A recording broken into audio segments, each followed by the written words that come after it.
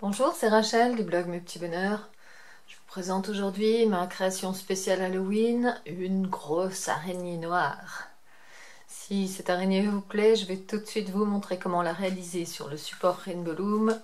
Pour faire cette grosse araignée, prévoyez 140 élastiques noirs, un support que je laisse toujours dans la position initiale décalée et un crochet bien sûr. Pour euh, faire cette araignée sur le support, on va la poser toujours dans ce sens. Donc on va poser en haut la tête puis le corps. Et on préparera les extensions des pattes qu'on enfilera au fur et à mesure quand on crochette l'araignée, quand on remonte le travail. On commence donc la pose en haut du support. Tournez comme d'habitude, flèche vers le bas, picot ouvert vers le bas. Et on commence la pose avec deux élastiques en faisant la diagonale de gauche, donc de gauche vers le centre, puis celle de droite. On commence donc par poser la tête. La tête est très courte, elle va aller vite. On pose ensuite deux élastiques à droite et à gauche.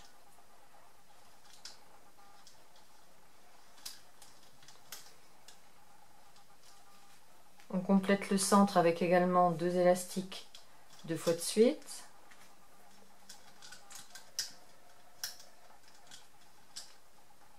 Et deux élastiques encore pour relier chaque côté au centre.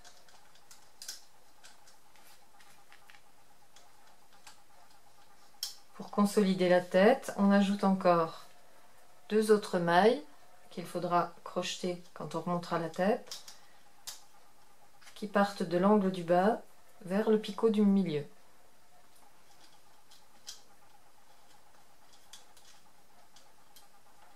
On continue la pose des élastiques avec le centre. Pour que le picot central ne soit pas trop chargé, on ne va mettre qu'un élastique pour descendre, puis un seul également vers la gauche et un seul vers la droite. Ensuite, on pose deux élastiques à droite et à gauche en descendant. Donc une fois deux élastiques et une autre fois deux élastiques. Et là, pour que le corps s'arrondisse, on va placer les élastiques de serrage en dessous des mailles suivantes. Donc on prend un élastique que l'on plie en deux et que l'on tend à travers les deux derniers picots. On peut ensuite continuer la pose des élastiques, deux au centre et deux de chaque côté.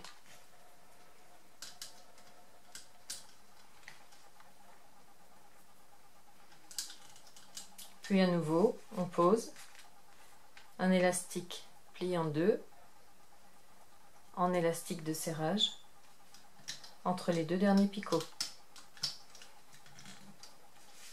On descend à nouveau au centre, deux fois de suite,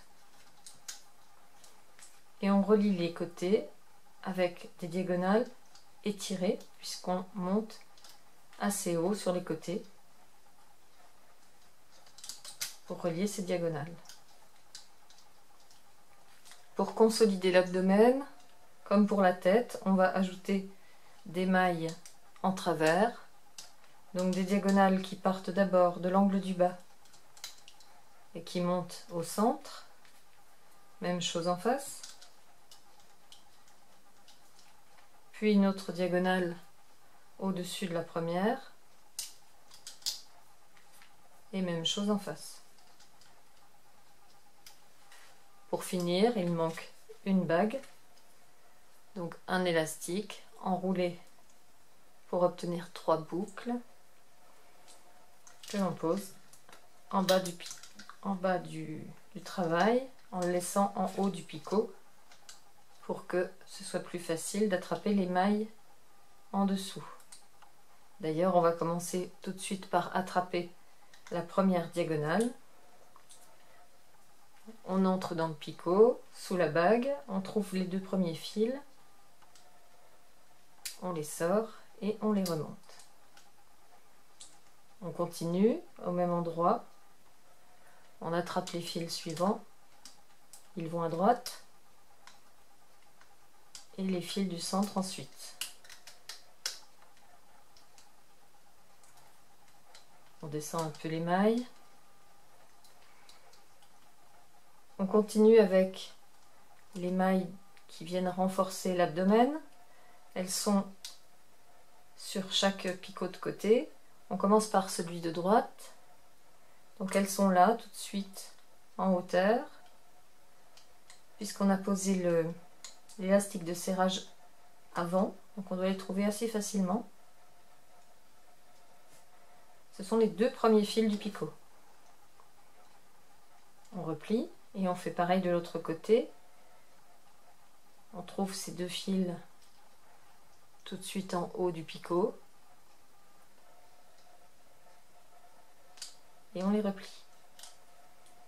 Ici, le picot est assez chargé. Pour bloquer ces mailles, on va aller chercher au centre les élastiques qu'il faut remonter ici.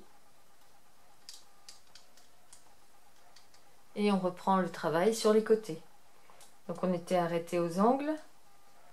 On revient dans l'angle et on remonte la maille de droite. Puis on attrape à nouveau cette diagonale qui est juste en haut du picot et on la pose. On fait la même chose à gauche. On recule l'élastique de serrage. On attrape les deux fils qui sont en dessous. On les remonte. Et là, on attrape les deux fils de la diagonale que l'on remonte et on va tout de suite bloquer également mailles en remontant le fil du centre.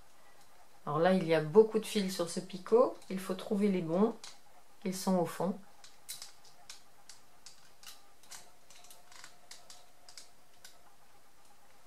On revient continuer le travail à droite. Donc on est arrêté au milieu du corps. On passe derrière l'élastique de serrage à l'intérieur pour aller trouver les deux fils qui sont en dessous que l'on remonte et on continue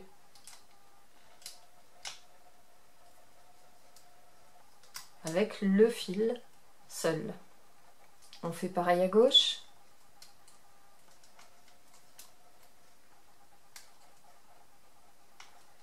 On attrape les deux fils, puis le fil de la diagonale et on peut terminer l'abdomen en allant chercher les deux derniers fils de ce picot, le, pardon, le fil de ce picot, il n'y en a qu'un, que l'on ramène.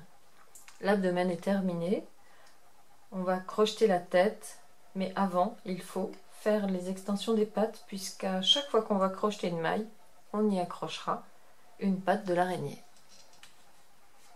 Pour faire les huit pattes de l'araignée, on procédera de la même façon à chaque fois en faisant une bague de 4 avec un élastique et en enfilant ensuite 10 élastiques qui auront d'abord été pliés en deux. Donc on attaque tout de suite la première euh, patte. Je prépare mes élastiques pour m'éviter de les compter. En voilà 10 et le 11e va me servir à faire 4 boucles sur le crochet. Ensuite, on attrape un élastique que l'on plie, donc on l'enroule en deux sur le doigt et on enfile les boucles. Alors là, on va essayer de les enfiler bien au milieu pour que les pattes ne tournent pas, pour que ce soit plus joli. Il faut que les pattes soient bien raides, c'est-à-dire bien droites. Donc vous allez enfiler chacun des 10 élastiques en prenant le temps de bien positionner les, les mailles qui sont déjà faites au milieu de la nouvelle maille. Vérifiez que ça va bien droit.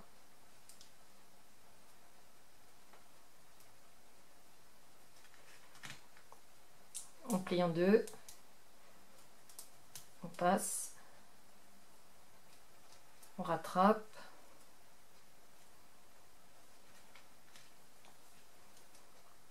C'est bien sûr le plus long travail puisque le corps de l'araignée est déjà fait.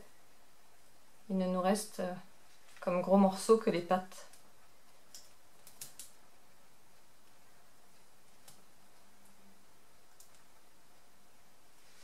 Encore quatre élastiques. J'ai oublié de le plier.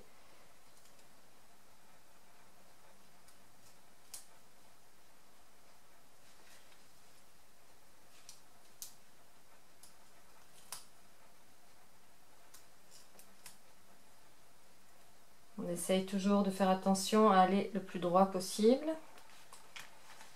Encore deux.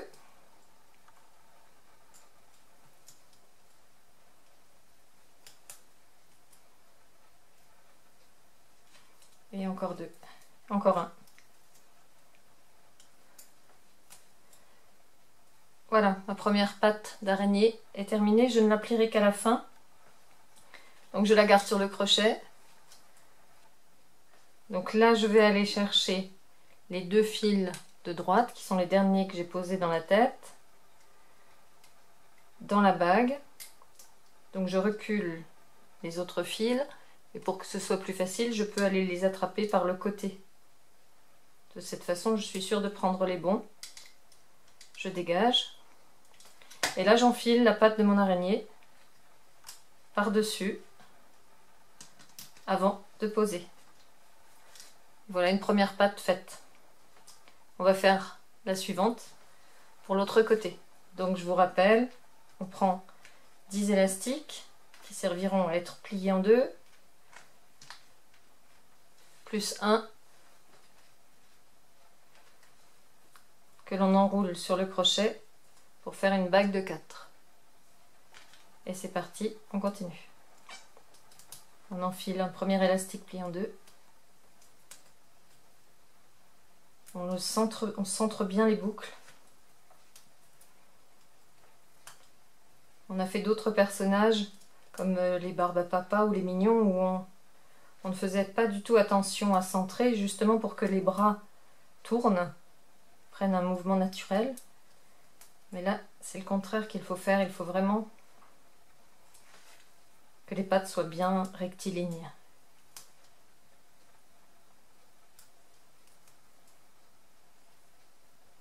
Prenez le temps qu'il faut.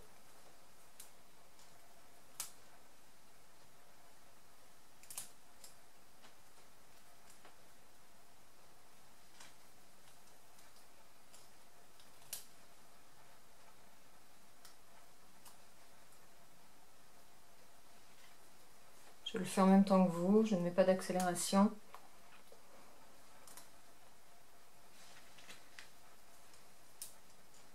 Ce n'est pas si long.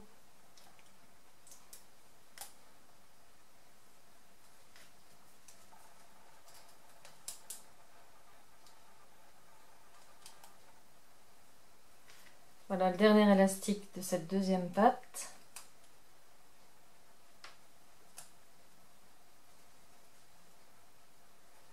je place bien. Ensuite, je reprends mon support. Je vais donc maintenant attraper ces deux fils. Comme tout à l'heure, je passe mon crochet sur le côté à l'intérieur du picot pour être sûr d'attraper les bons fils. J'y glisse la patte de l'araignée et je repose la maille. Quand on va remonter les mailles suivantes, il nous faut avoir deux pattes sur le crochet. Donc là, on va en préparer deux à la suite.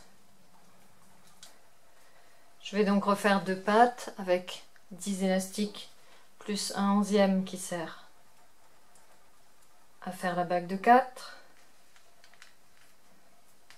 Je vais commencer avec les élastiques du bas, ce sera plus facile.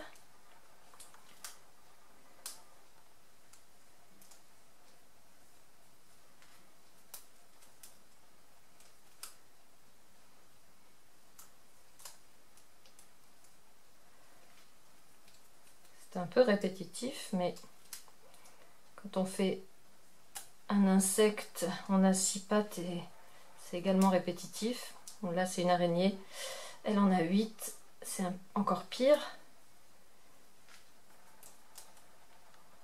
Mais si c'est répétitif, ça veut dire aussi que c'est facile parce qu'on prend très vite le coup de main. Même si c'est un peu long.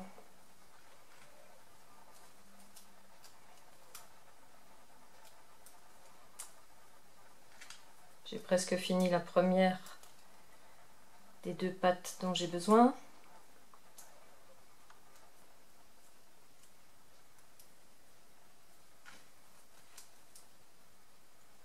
Encore un élastique.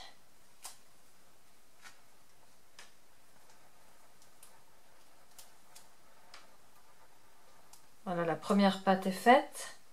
Je la laisse sur le crochet et j'attaque la deuxième donc avec une boucle de 4 une bague de 4 et je recommence à y enfiler un premier élastique pliant deux avant de continuer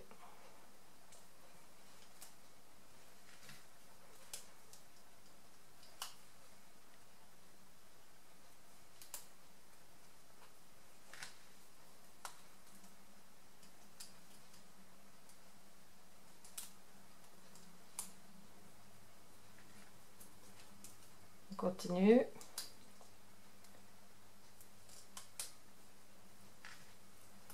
Encore 5 élastiques qu'on plie en deux, qu'on enfile.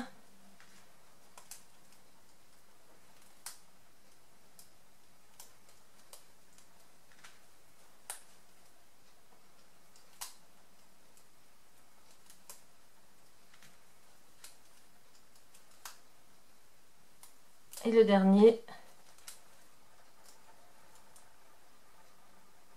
Voilà, mes deux pattes prêtes à être posées sur le support. On reprend le support. On en est à droite ou à gauche, peu importe. On va dire à gauche. On doit aller chercher les deux fils qu'on a posés au début. Donc je les ai dégagés pour bien les trouver sur le côté. Je les sors. Et là, je vais glisser les pattes de l'araignée sur ce fil que je repose. On a déjà quatre pattes, il ne nous en manque plus que quatre. On attaque donc maintenant une autre série de deux pattes pour mettre de l'autre côté de l'araignée. On procède bien sûr toujours de la même façon une boucle de 4, un élastique, une bague de 4, un élastique plié en 2 et ainsi de suite avec 10 élastiques.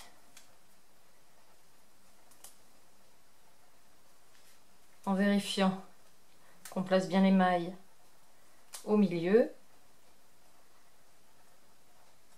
pour que la pâte ne pivote pas, ne s'arrondisse pas.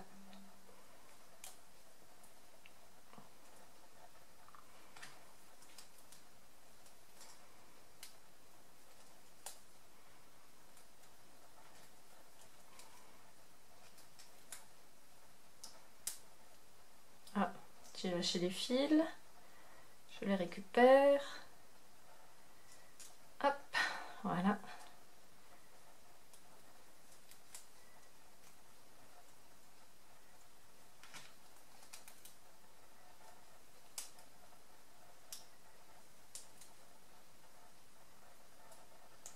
Encore deux.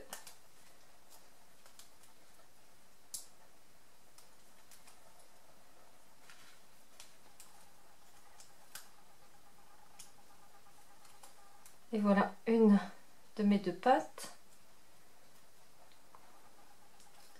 Et j'enchaîne avec la suivante. 2 fois 2 pour faire mes quatre boucles.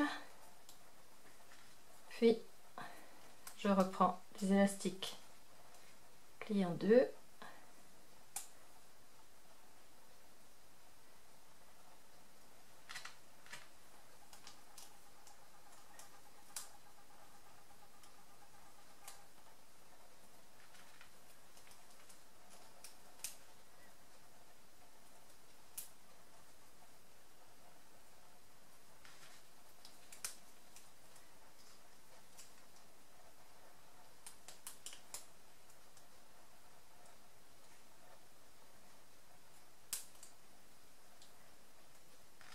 En voulant aller trop vite, à quand même surveiller que la, que pâte ne tourne pas. Voilà. Quand on aura fini cette paire de deux, eh bien, il ne nous manquera plus que les pattes de l'avant de l'araignée. Et ce sera terminé. La partie là est longue, mais quand elle est faite, en fait, on a fini.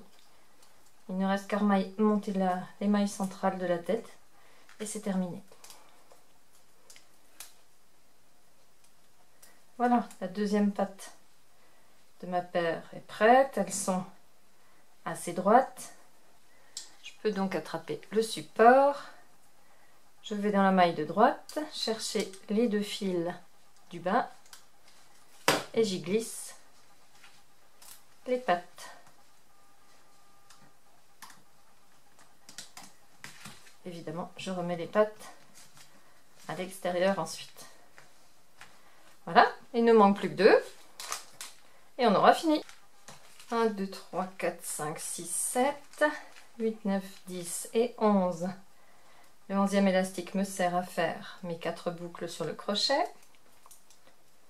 Et ensuite, j'attrape chacun des 10 élastiques tour à tour.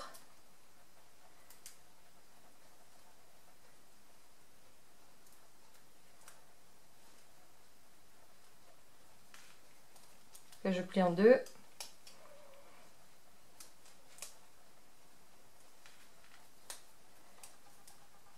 Et que j'enfile bien sûr.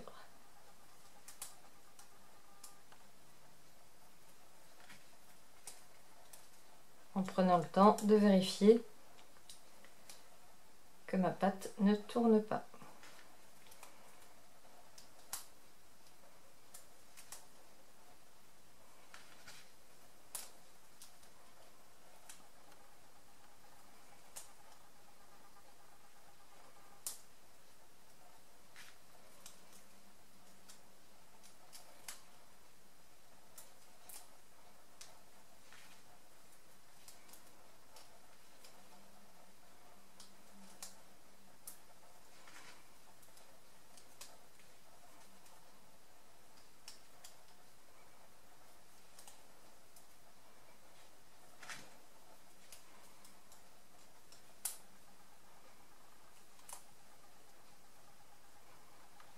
Voilà, ma pâte est je vais commencer par le côté droit parce que je vois qu'il a été posé après, après l'autre. Donc je vais dans l'ordre inverse pour le crochetage. J'attrape la maille, j'y glisse la patte de l'araignée, je repose. Et cette fois, on a presque fini. Il nous reste une dernière patte. 5, 5. Et le dernier. 1, 2, 3, 4. 4 boucles.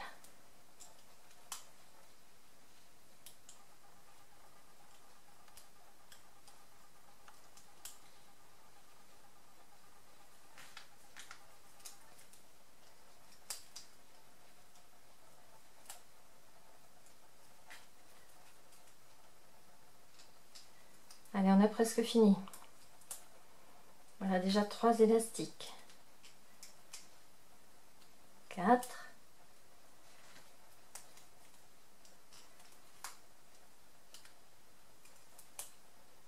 5.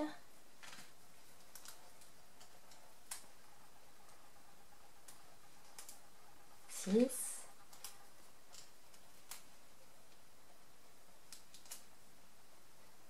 7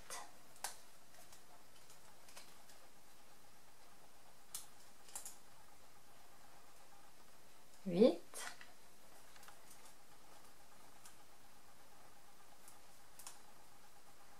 9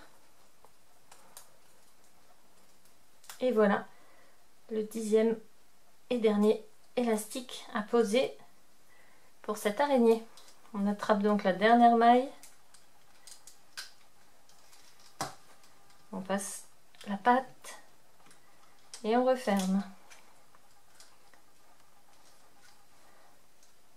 Ici, dans les côtés, on attrape également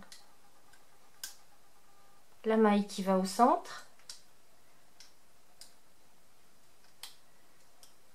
À chaque angle.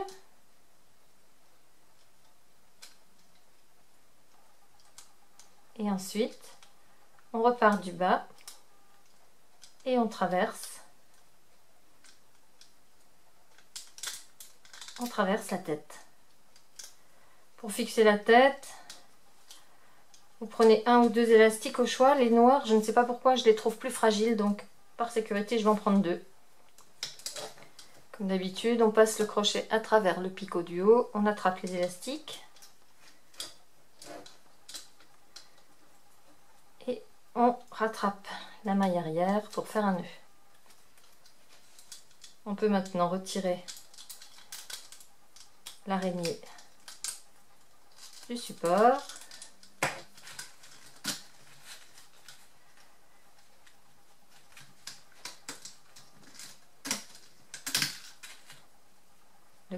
C'est bien formé. La tête. si vous voulez, vous pouvez laisser des élastiques vers l'avant pour euh, ça doit être des mandibules qu'on voit souvent sur les dessins d'araignées vous pouvez choisir par exemple celui qui n'est pas tordu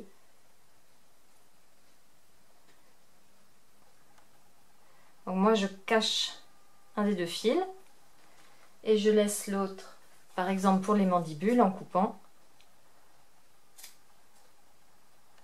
un morceau et bien sûr, je cache l'autre côté. Je peux même refaire un nœud.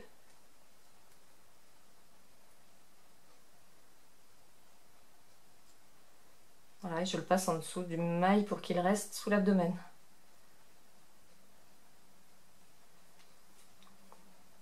Donner sa forme définitive à l'araignée, on va maintenant plier ses pattes à mi-longueur. Donc, comme on a mis 10 mailles, on va plier à la cinquième. Donc on compte au bout d'une patte 1, 2, 3, 4 et 5 mailles.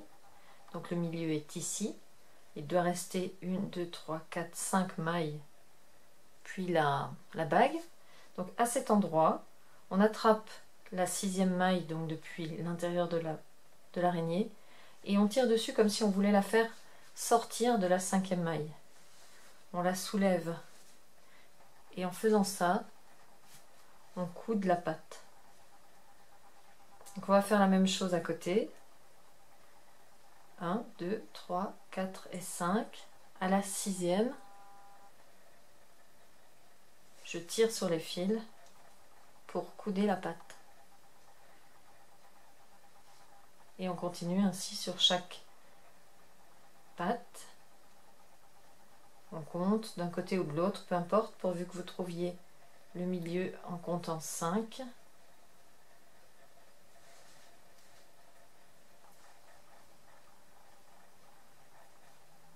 1, 2, 3, 4, 5. Voilà la sixième.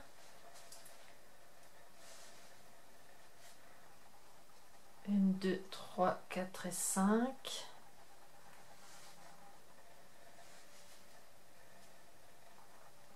Une, deux, trois, quatre, cinq.